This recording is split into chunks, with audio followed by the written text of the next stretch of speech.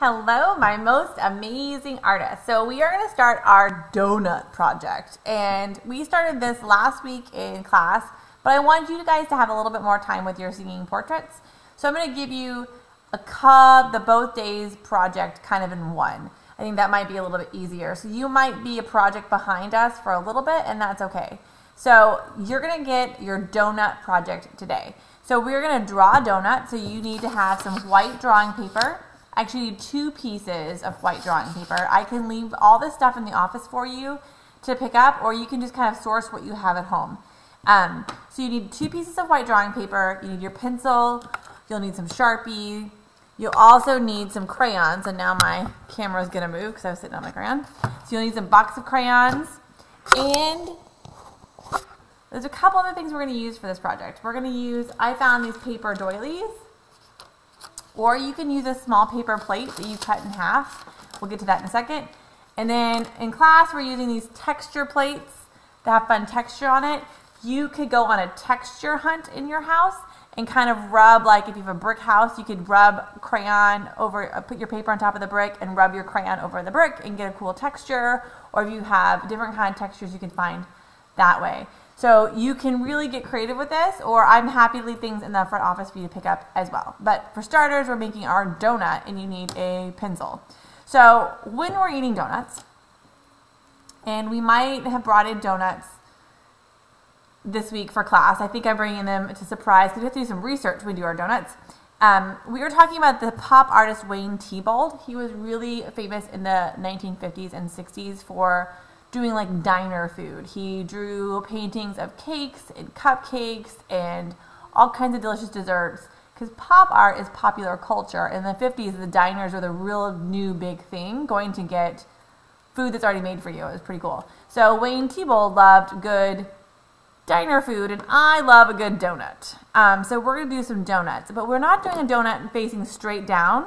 We're going to take our donut and turn it so it kind of looks like it's on the plate. And that's where the other things come into play. So we want to remember to have an eraser handy. Draw light until you like the way your donut looks. And then you can always make it darker. Um, I always think drawing light is the best way to go. Draw light until you get it right. But I'm going to draw a little heavier so you can see it on the camera. But feel free to sketch lightly on this. That way if you make an oops, you can erase it really easy. Remember, we also have learned in the past how to draw with eraser crumbs. You can do that too. So if you're having a donut, do you want a small donut or do you want a big donut? You want a big donut, right? So no tiny donuts. You have this nice big paper. Mine's 9 by 12. You could do this with printer paper, which is 8.5 by 11, and that's fine too. Keep it going horizontal. We want it longer than it is tall. And we're going to start by making kind of a squished oval, kind of like a potato shape, okay? And I want it kind of big. So you can start by drawing with your eraser to get that squished shape you like. Now it doesn't have to be perfect because all donuts are handmade usually, so they're not going to be perfect. So once you get the shape you kind of like, kind of looks like a potato, you can go over and trace those eraser crumbs. That's a really great trick. Or if you know you're pretty good at drawing squished ovals or potatoes, you can just go for it too. Either one. So once you have it, wipe away the eraser crumbs. We don't need them anymore. So mine is not even, and that's okay. I'm okay with that. The next thing we want to do is kind of find the center of our donut, and we're going to draw a little happy face. So our donut is very excited. It's very happy. looks like it's smiling at us. Then we're going to kind of go from the inside, so I'm leaving a little bit of space, and I'm going to make a sad face. And it kind of turns our donut and turns it on its side, so we're looking into the donut hole, okay? And this can be more shallow if you want it, or it can be higher. It's up to you. Mine's a little high, so I might erase that a little bit, but that's just me being picky. So it kind of, right now it looks like a bagel. And we don't want to, I mean, bagels are delicious. We don't want to draw bagels, we want a donut. So what makes a donut super delicious is the frosting. So we are going to use a wavy line to look like the frosting is kind of dripping. And we're only going to do this wavy line on one side. So I'm going to draw my wavy line, and you can make it as wavy as you want. And now it looks like my frosting is kind of got dripped and turned over. Now we also want to add a little wavy line back here above the sad face. So it looks like our icing is dripping down into our hole. So now we went from having a bagel to a donut. So no, everybody's favorite part of donuts is usually the sprinkles. So if you want to add sprinkles, you totally can. The rule I told your classmates is you can't just dot on things. If you want sprinkles, you actually have to draw the little shapes. You can draw little ovals, you can draw little rectangles. I know Liam had a lot of fun drawing some heart sprinkles. Whatever kind of sprinkles you want, you can draw them. The one thing about sprinkles though, you want them to be facing different directions. So I'm going to use a couple different shapes to add my sprinkles, going in different directions and really just kind of sprinkling them around. Okay, you can add as many or as little sprinkles as you want. It's totally artist choice. I'm to add one down here. All right, so once you're like, yeah, that looks pretty good, I'm happy with my donut, you're ready to outline a little bit. We're to outline a little different today, a little bit different. So if you need more practice, you can use both sides of your paper until you get the donut that you like. Once you like your donut, we're to outline our frosting.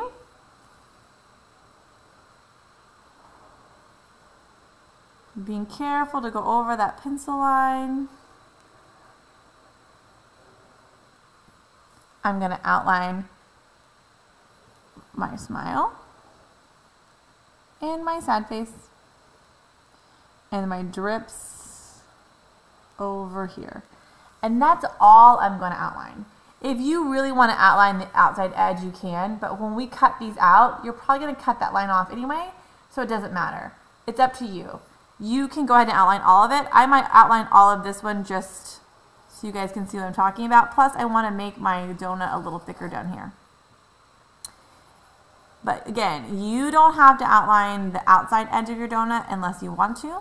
I'm going to go ahead and do it. Don't worry about outlining your sprinkles. We can do that later. So if you are like me and you can see your pencil line through your Sharpie, go ahead and erase any pencil line you see coming over your Sharpie. And you're ready to add color. So we're going to use crayon to color our donut. And you're going to need kind of a donut color, which could be either a skin color or brown or whatever. I'm going to use brown. A brown donut. And then you can color whatever color frosting you would like for your donut. I think I'm going to have like pink frosting on my donut. I think I'm going to do that. But again, you can do whatever you want. Your sprinkles, I told our friends in class, the sprinkles you can color in marker. So if you want to use marker, to color your sprinkles, you can do that too. Again, it's up to you. And you can color your sprinkles all the same color or all different colors. The main thing about when we're coloring is I want nice, dark, waxy, shiny coloring. I want to almost look like we painted it because we want it to look nice and sharp. We're using our crayons to really make a nice color. So we want nice and dark. What I don't want to see is this. We don't want this, we want this, even with our frosting. So this takes time, and it took your class a good chunk of the day to color their donut, and that is perfectly fine. Good coloring takes time, and if it's something we need to practice to get better on, that's even better.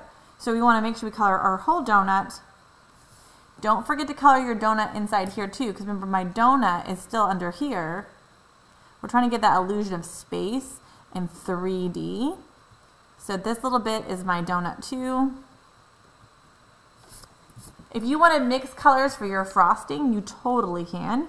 Again, it's up to you. And if you didn't have any sprinkles, you don't have to color sprinkles. And if you don't want to color your sprinkles with marker, you don't have to. We decided the marker, we liked how it stood out in class, but again, it's artist choice. You can use your crayons or you can use marker just for your sprinkles. The frosting and the actual donut, I want to be crayon. So we want nice and smooth, hardly any white showing through, really go over it a couple times so it looks nice, really clean. All right, so I'm gonna finish coloring my frosting. I'm not gonna make you guys watch me color my frosting, but again, we want nice rich coloring not scribbles.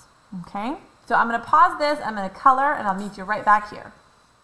Okay, so we're going to come back, and once your donut's completely covered, just make sure you go over all of it so you don't have any like big white spaces. We want really smooth. It should be almost shiny, very waxy. It just looks really rich, like donut, like frosting. Like I want to eat this. Rum, rum, rum.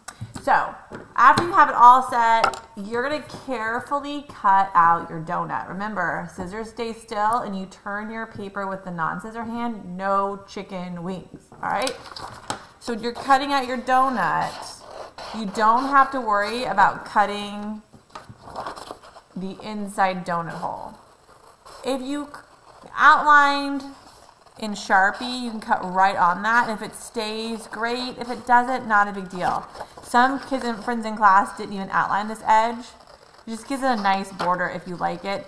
But I don't want to see any white paper. So either cut on the Sharpie line or just inside of it because we don't want to have any white pieces hanging out. That'll kind of ruin our illusion. So once it's carefully cut out, it looks good, it looks delicious. That's scrap paper we can recycle. Don't worry about the inside, we're gonna leave it there. It's gonna kind of look like it's on our white plate and that's gonna be fine. So move this over to the side. Your donut is done. Next you need another piece of white paper the same size as your donut paper. We're using 9 by 12 in class. It's a little thicker drawing paper. Use what you have. And then we're going to take our edges and we're going to fold it in half over the horizon, so on horizontally. So we're going to do a nice sharp crease so we have our half. So we want to do like a wall and a floor. So this is where we talked about those textures. You want to pick two colors you did not use in your donut. So I'm picking a blue, green, and an orange. And yes, I used blue in my sprinkles, but it's not pink, so they'll be fine. So I'm using these two colors. Now, if you want to come to school and pick up a texture plate, the texture plates have two different textures on each end. And it is what it is. Some are flowers, some are stars, some are just geometrics. And if you don't want to come get this, you can go around your house and find something you can put underneath your paper and make a texture. Brick works really cool. If you're careful, maybe your patio or the concrete outside, you can find some really interesting bubble wrap. If you have bubble wrap at home or even cardboard would help you give a texture. Because what we're going to do is you want to have some naked crayons. I know parents don't love it when you peel the paper off your crayons, but we kind of want to do it for this. If you don't have peel paperless crayons, Go ahead and peel a couple little pieces maybe because you want a naked crayon. This will help you do a rubbing. So I'm going to take my texture plate and I'm going to set it underneath my paper and I'm going to pick whatever color I want on the bottom. I think I want the blue green on the bottom and I'm just going to rub. So we're only doing half of our paper now. So one color is going to be half and if you're using something around your house do the best you can. You can push hard and it comes through. If it gets a little bit on the other side, don't worry about it too much. You want to kind of push so it really shows that texture, but you don't want to color so much you lose the texture. Well, I have to scoot my paper over a little bit boop, boop, boop, boop, to get more texture on there, and that's okay. It doesn't matter if you rub vertically or horizontally, you're still going to get that texture. So we're going to do one color on the bottom, like that. And then I'm going to flip it over. Um, I'm going to do a different color on the top. So you need to find at least two textures in your house. If you can't, do the best you can. I'm going to do a different color. Some colors are going to show up better than others. Yellow might be hard to see a texture but try it and if you don't like it you can always get a new piece of paper or just make it work sometimes experimenting really helps us learn what we like and what we don't like so I'm going to move my stencil over and I'm really just getting that texture in there I'm going a little fast but I want you guys to take your time because I want that texture to be really dark shows up really cool like this one in the middle didn't really work all right when you're done my crayons are going all over. You have this really cool effect. Some texture in the background and different than the top and the bottom. Then we're using these big paper doilies. It's about the size of a medium paper plate. So if you have a paper plate at home, you could take your paper plate and cut it in half horizontally. We just want it to be able to fit on our line. So I'm going to fold this in half. And I'm going to cut it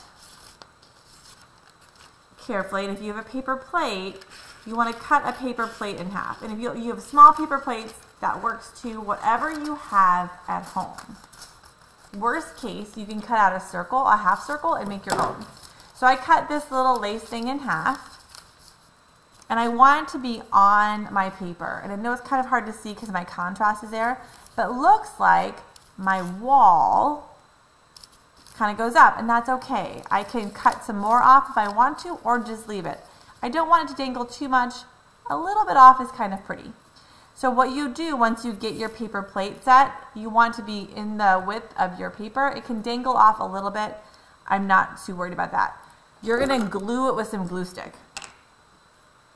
So I'm gonna just glue stick down. I know it looks purple and scary. If you use liquid glue with this, it might bleed through and it doesn't look as pretty. But purple, I know, it looks shocking when it's purple. And it kind of went through my thing, my uh, lace, and that's okay. So we're going to lay this down. I'm going to turn it over. I'm going to give it a back rub. We really want that kind of put down. I can still see the purple through it, but I know once it dries, the purple's going to go away. Then you're going to take your donut and you're going to lay your donut on your plate. And you can decide if your donut's up high or down low. Some of your friends had time in class to draw two donuts. They might have two donuts on your plate. That might look really cool. Um, it's up to you. So if you have one donut, that's perfect. If you want to draw another donut and you can have a stack of donuts on your plate, I think that'd be really awesome. Again, I'm to leave that to you. So once you decide where your donut lives, you're going to take your glue stick again and you're going to add glue to your donut. Now, in hindsight, I probably should have done a darker color underneath my lace, but that's okay. So that's my top. Make sure your top of your donut makes sense. Remember, the icing should be going down. I'm going to rub it, and then once again, flip it over. Give it a good back rub. Even donuts like a good massage. And ta-da! We have our donut on a plate. We're using textures, we're different donuts, and we're doing different medium. So I love this project. I think it'd be really cool if you could stack up donuts.